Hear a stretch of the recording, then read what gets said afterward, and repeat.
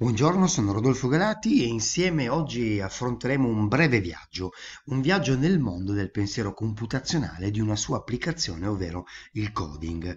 Stiamo parlando di cosa? Stiamo parlando di un insieme di processi mentali coinvolti nella formulazione di un problema e ancora di più nella risoluzione di questo problema. Quando parliamo del pensiero computazionale dobbiamo immaginare qualcosa di cross-disciplinare, come nella vita, come nell'esperienza, quando noi dobbiamo affrontare un problema, eh, appunto cerchiamo di impiegare tutte le nostre conoscenze, abilità, capacità, competenze, atteggiamenti, ecco siamo di fronte a un processo eh, mentale di questa, di questa tipologia.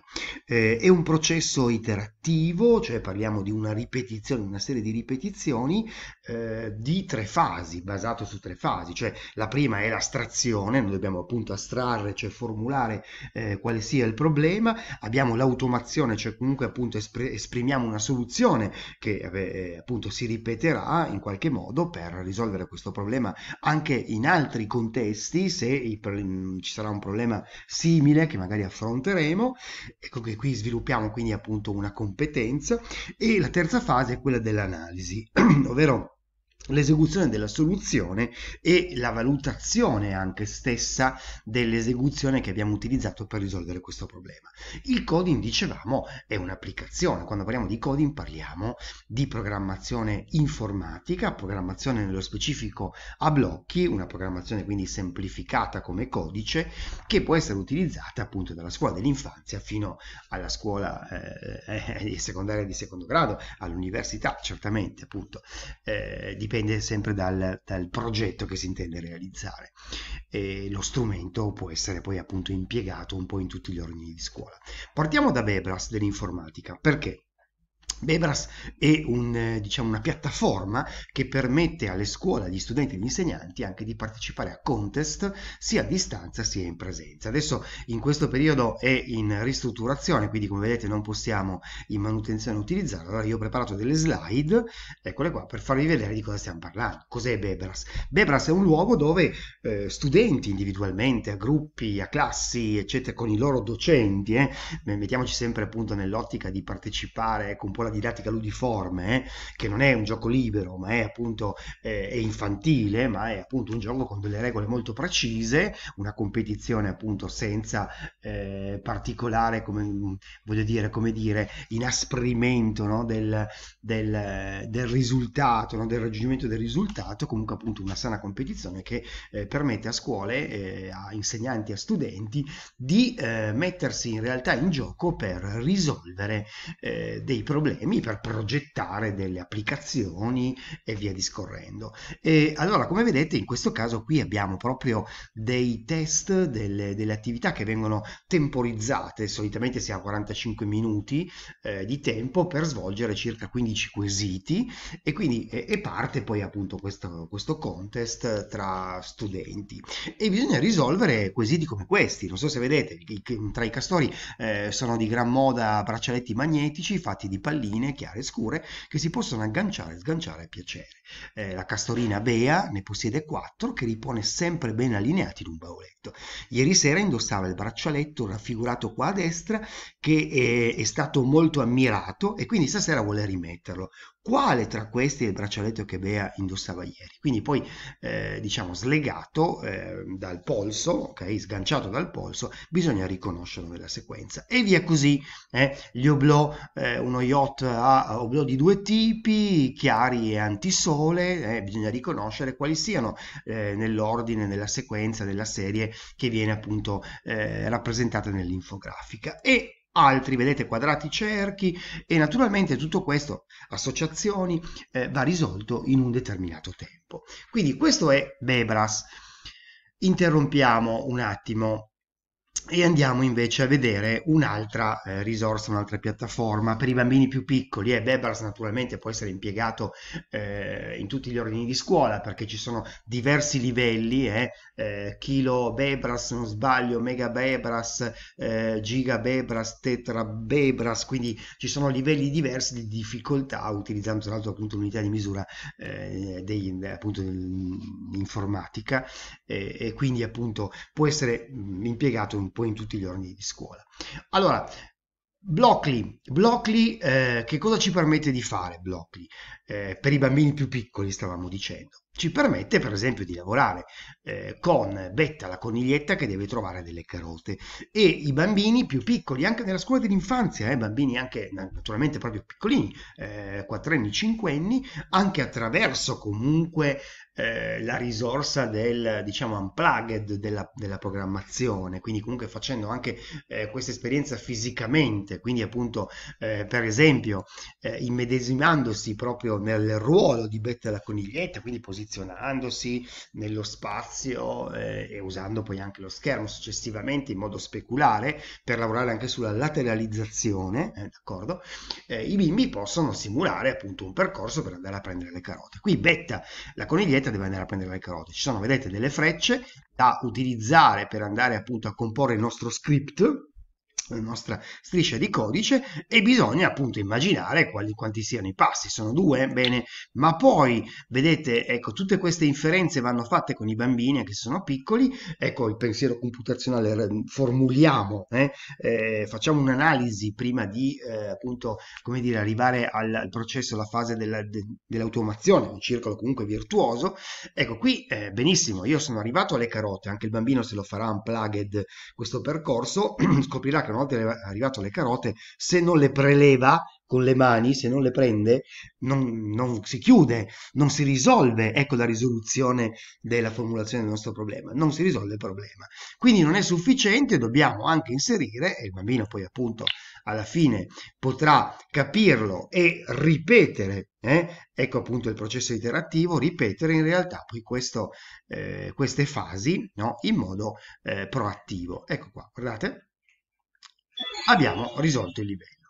Ok, allora ci sono diverse, eh, vedete, come dire, ambientazioni e, eh, come dire, percorsi più che altro complessi, sempre più complessi, eh, all'interno del, dell'attività proposta con Betta la coniglietta, ma abbiamo anche, guardate, tante altre attività proposte dentro Blockly, eh, più o meno complesse. Qui appunto vedete i bambini devono essere già un po' più grandi, devono saper leggere, dobbiamo quindi appunto utilizzare ecco i famosi blocchi per la programmazione, cioè devo comunque co mm, colorare tutta questa collana, ho questi blocchi a disposizione e devo eh, non soltanto interpretare eh, ogni blocco che tipo di funzione attiverà, ma anche rispettare poi un ordine, eccolo qui appunto appunto un, una ripetizione in qualche modo che sia eh, un, una ripetizione eh, adatta per svolgere questa, eh, appunto questa funzione per risolvere questo problema. Quindi devo colorare tutta la collana eh, la collana è composta, vedete, con, tra l'altro con quale colore? Il rosso, mettiamo il rosso, è composta non di cerchi ma di stelle, benissimo, potrebbe essere questo il ragionamento e potrebbe funzionare. Io vi faccio subito vedere perché il tempo è poco, se noi in realtà invertissimo eh, il, il blocco, cioè eh, ci sono dei disegni stella che vanno colorati di rosso, vediamo cosa succede, funziona? No, Vedete, eh, non mi hai detto quale colore utilizzare. Lui ha bisogno prima del colore, perché in realtà si chiede di colorare che cosa? Una collana con disegni a stella. Quindi invertendo semplicemente l'ordine di comparsa di questi due blocchi, noi abbiamo risolto, vedete, eh, questo problema, d'accordo? E via così. Adesso non vi faccio eh, perdere troppo tempo, eh, quindi possiamo andare oltre, d'accordo? Vedete che ci sono anche eh, altre, altre applicazioni, il disegno artistico di una tartaruga, risolvere dei veri e propri problemi, addirittura delle applicazioni ludiche, quindi appunto dei giochi, diciamoli così, digitali, che in realtà però appunto devono essere programmati perché funzionino. Passiamo alla successiva eh, piattaforma. Blockly Games, eccolo qua, Blockly Games. Blockly Games ci permette di fare dei percorsi anche qua da, eh, adatti a bambini più piccoli eh, per arrivare eh, poi appunto a eh, come dire ambientazioni, ambienti e, e e problemi e circuiti molto più complessi che vanno bene per bambini eh, più grandi, per alunni, studenti molto più grandi, non più bambini, ragazzi.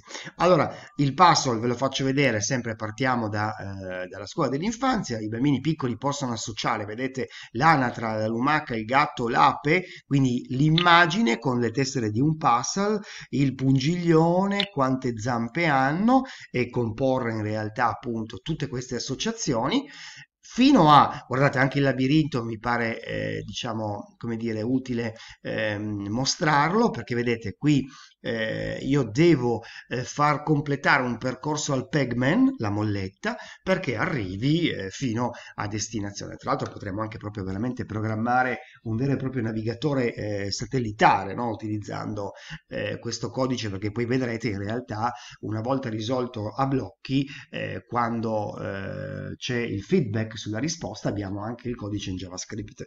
Comunque, ehm, facciamo finta che voi già non, sappiate, non sappiate la soluzione. Però vedete che abbiamo a disposizione questi blocchi, io eh, come faccio? Viene subito da dire ripeti, vai avanti, no? D'accordo, vai avanti, sì, va bene, vado avanti, però se vado avanti poi prima o poi dovrò girare a sinistra, come faccio? Allora magari viene voglia di dire, va bene, gira a sinistra, cioè di, di risolvere eh, questo, come dire, problema attraverso un processo mentale che ci faccia mettere insieme i blocchi in questo modo, ma capiamo che in realtà la soluzione potrebbe essere un'altra, cioè quella di andare avanti, d'accordo?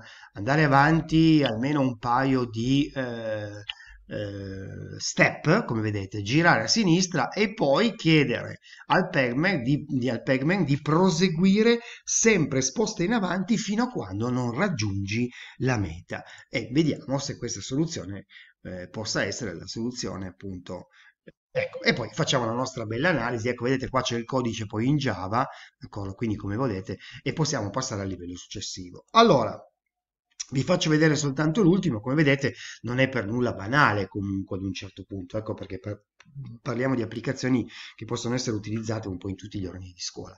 Allora, eh, sempre Blockly Games, perché ne ha veramente tante di eh, opportunità sulle quali cimentarsi, guardate anche qui, qui possiamo lavorare, per esempio in geometria, il concetto di geometria, l'angolo, il nostro uccello deve comunque prendere, eh, in qualche modo appunto procurarsi del cibo da portare ai suoi piccoli al nido e quindi eccolo qua, 45 gradi, invertirà la sua traiettoria con appunto eh, il, ecco, l'ampiezza del, del, grado di virata eh, dell'angolo e poi raggiungerà.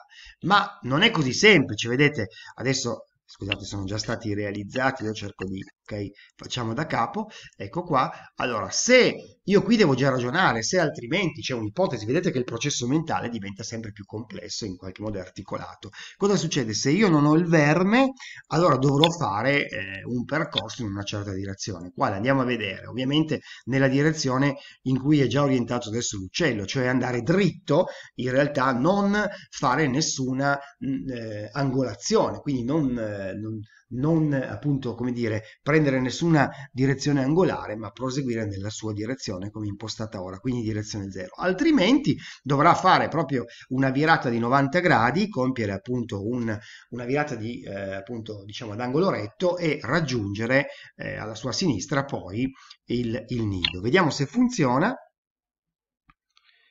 Ecco qua. Perfetto, abbiamo risolto anche questo livello. E si va avanti, abbiamo sempre anche il codice, vedete, in Java.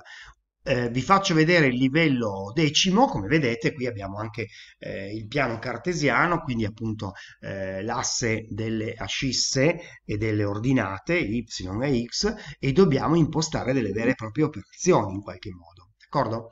Allora andiamo avanti, passiamo al successivo Ah no, aspettate, mentre siamo ancora in blocchi volevo farvi vedere anche film, guardate che carino anche questo.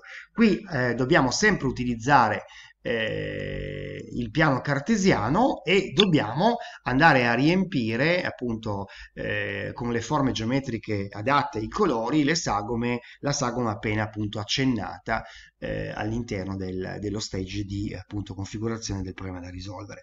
Vedete, cerchio, io qui devo proprio andare a lavorare su ascisse e ordinate, d'accordo? Io devo sistemare in questo caso l'ordinata, avrei bisogno di avere y70 y70 e in effetti vedete che il, la testa si va a posizionare nel posto eh, giusto. Qui guardate, cambiamo soltanto il colore, ecco qua abbiamo un colore viola, dobbiamo lavorare anche sulla larghezza, vedete, e anche sull'altezza, sarà circa 40, ma dobbiamo posizionare in questo caso bene le y, ci siamo, e quindi 40, eccolo qua, abbiamo posizionato y.